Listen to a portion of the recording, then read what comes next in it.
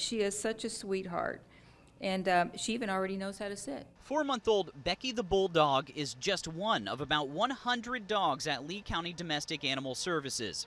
She's happy and healthy, but right now, she's homeless. But Becky isn't alone. This shelter is packed beyond capacity.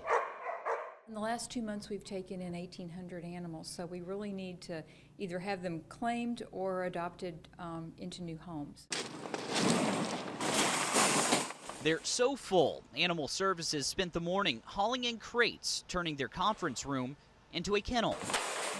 The need to adopt out is so dire, many of these healthy dogs could be put down if Animal Services can't find home for at least 30 of them.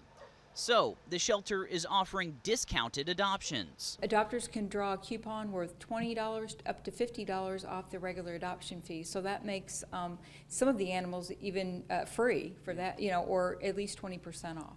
Deals that will hopefully help Becky the Bulldog and her pound of friends find a good home.